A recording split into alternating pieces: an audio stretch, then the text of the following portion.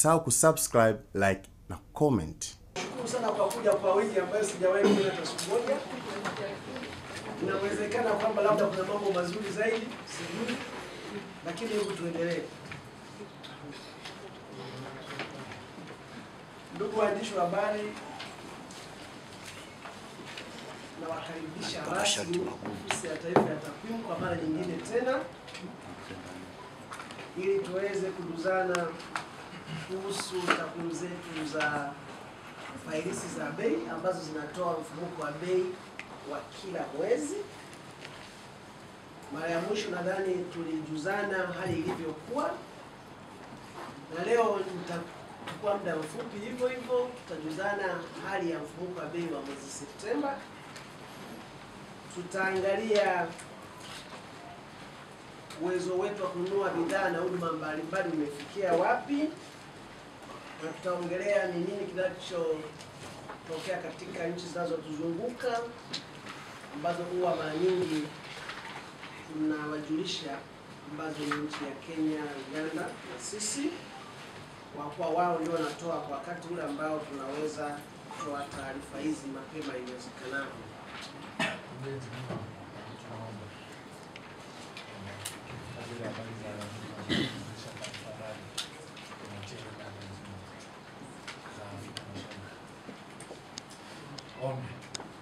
Waandishi wa habari, mfumuko wa bei wa taifa ambao unapimwa kwa kipimo cha mwaka, tunalinganisha takwimu za mwezi kama wa Septemba mwaka jana 2016 na, na mwezi Septemba 2017 kwa kipindi hiki chote hali ikoje? Hizi ni bei za bidhaa na huduma zote zinazotumiwa katika kaya binafsi. Nieleze hilo. Kwa hiyo mfumuko wa bei wa taifa wa mwezi Septemba 2017 sijui niseme bahati mbaya au umeongezeka, umefikia asilimia tano nukta tatu kutoka asilimia tano nukta zero sifuri mwezi Agosti 2017. Hii inamaanisha nini? Inamaanisha kuwa kasi ya mabadiliko ya bei za bidhaa na huduma mbalimbali kwa mwaka ulioishia mwezi Septemba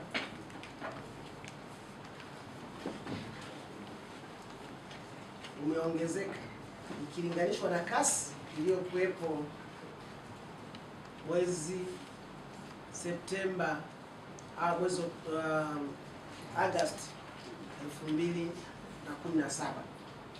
Kama mnakumbuka, hivyo hivyo ilikuwa asilimia tano.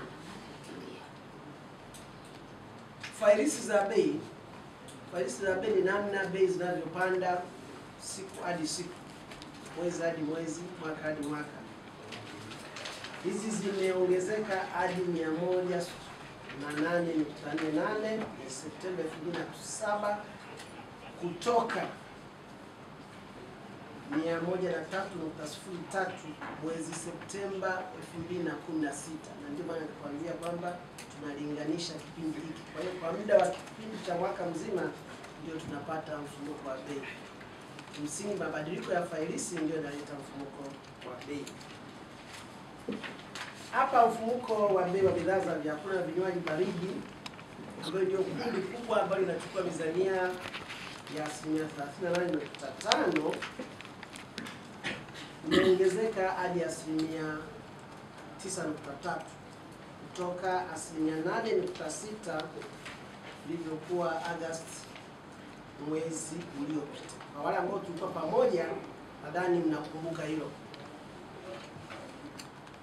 Ndugu waandishi wa habari, kuongezeka kwa mfumuko wa bei wa mwezi Septemba 2017 kumechangiwa na kuongezeka kwa bei za bidhaa mbalimbali kidogo za vyakula na zisizokuwa na za vyakula kwa kipindi kilichoishia mwezi Septemba huo ikilinganishwa na bei ya mwezi Septemba 2016. Hapa ni mwaka hadi mwaka, elewane hiyo.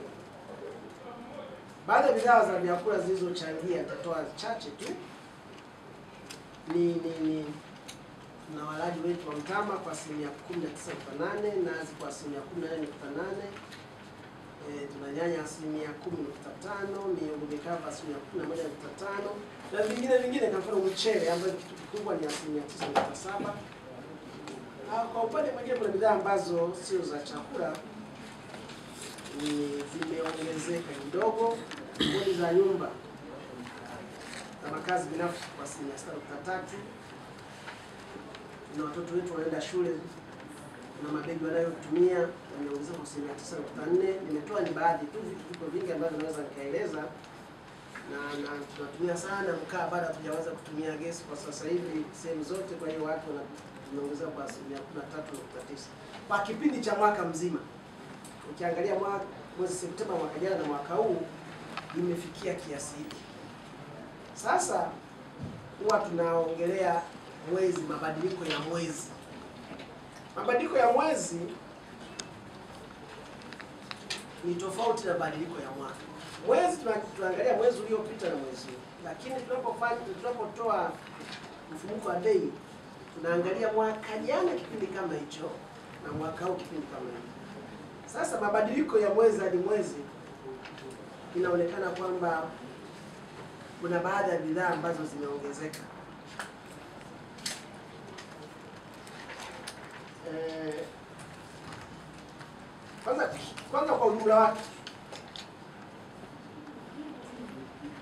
zimekuwa tofauti ndogo kati ya mwezi Agosti na mwezi Septemba. Tuseme imeongezeka kwa sufuri nukta sufuri mbili asilimia, kidogo sana, huwezi ukana tofauti, lakini ukiangalia mwaka hadi mwaka kuna kuna kuna asilimia point sifuri nukta tatu. Unaona kwamba kuna tofauti hapa. Sasa mwezi hadi mwezi ambayo ilikuwa ni ndogo sana, lakini kuna vitu vilivyochangia pia. Vitu mtavipata kwenye orodha ambayo tutawapa, lakini nitatoa mifano tu. Ni ni ni ni ni ni ni ni ni ni ni ni ni vitu kama viazi vitamu vime- vimeongezeka kwa asilimia tatu nazi asilimia tatu nukta moja ndizi za kupika asilimia moja nukta tano na vitu vinginevyo vingi mtakavyovipata katika eh, karatasi zetu ambazo tutawapatia.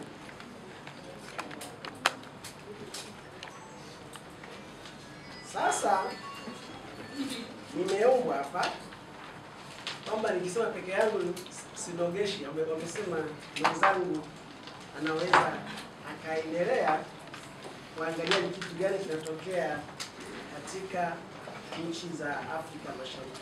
Lakini kama sijaendelea, kuna kitu kingine ambacho ninge- ningesema kidogo. Nilisema vyakula, lakini kuna vitu vingine ambavyo sio vyakula vimebadilika katika miezi miwili. Hii ni pamoja na ukaa asilimia nne dizeli kwa asilimia mbili nukta nne na petroli kwa asilimia sifuri nukta sita. Ukiangalia na hizi zote zimesababisha angalau kapande kidogo kati ya mwezi Agosti na mwezi Septemba ambayo imekuwa imekwenda kwa sifuri na sifuri. Kwa hiyo hapo mtofautishe kati ya uh, mfumuko wa bei wa mwaka na badiliko la mwezi. Huwa anatumia kila siku na wenzangu nadhani wananielewa, ambao siku zote zipo.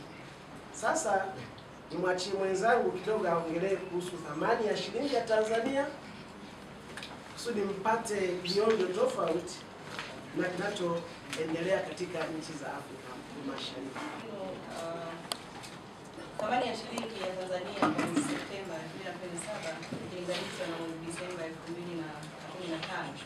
Takwimu zinaonyesha kwamba uwezo wa shilingi mia moja ya Tanzania katika kununua bidhaa na huduma umefikia shilingi 92 na senti 18 mwezi Septemba 2017 ikilinganishwa na shilingi 92 na senti 20 ilivyokuwa mwezi Agosti 2017. Kwa maana hiyo inaonyesha kwamba mfumuko wa bei, fahirisi za bei zikiongezeka, ule uwezo wa shilingi kununua bidhaa na huduma na wenyewe unapungua.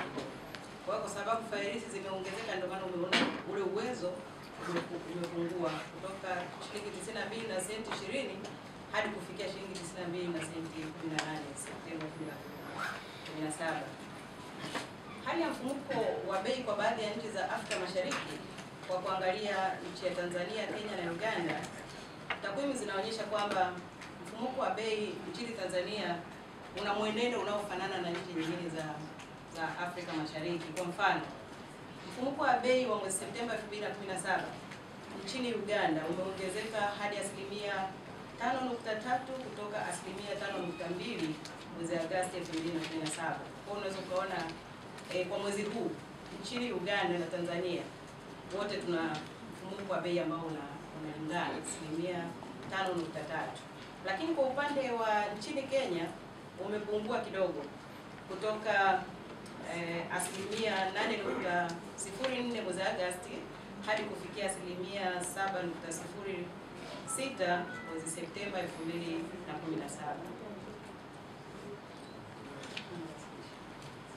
Nadhani nimepata kiumbe kingine. Sasa ile swala ya shilingi yetu nadhani naikumbuka pale, ni kuangalia ni unahitaji kiasi gani uweze kununua bidhaa ambazo ungeweza kununua wakati uliopita, kwa wale ambao ni wageni. Aliposema imekuwa shilingi tisini na mbili na senti kumi na nane na ili uweze kununua bidhaa ambazo ungeweza kununua wakati uliopita elfu mbili na kumi na tano mwezi Disemba ilitakiwa uongeze kama shilingi elfu kumi na saba na senti kama sabini na tisa hivi. Sabini na tisa au sabini na nane ili uweze kupata vitu vile vile ambavyo unaweza kununua, sio sio ile ambayo unaisikia ya benki kuu kwamba shilingi thamani ya shilingi ya Tanzania na dola imekuwa ijapata ni uwezo wako wa kutoa hela mfukoni kuweza kununua bidhaa mbalimbali. Nitakuongezea hapo hapo, na ndio maana mfumuko wa bei ukiwa mkubwa sana una unaathiri watu wa kawaida, kwa sababu uwezo wake wa kununua bidhaa kutoka mfukoni utakuwa umefanya nini? Umepungua. Kwa hiyo hata kama angekuwa na na akiba yake ame- ameichimbia mahali fulani, hawezi kununua bidhaa zile zile ambazo angezinunua mwaka uliopita. Ndiyo maana yake. Kwa hiyo ndugu waandishi wa habari, basi nipende kuchukua nafasi hii kuwashukuru sana kwamba mmepata hayo, na kama kuna maswali yote naweza mkatuuliza. Naomba